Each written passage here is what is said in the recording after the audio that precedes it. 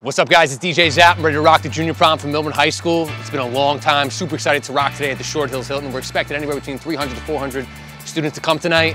I know COVID's been really rough on everybody, but I'm super excited to be back. And shout out to someone who gave me this gig way back, to Lauren Nadel. We're ready to rock this party, and we're on the comeback. DJ Zap, peace and love.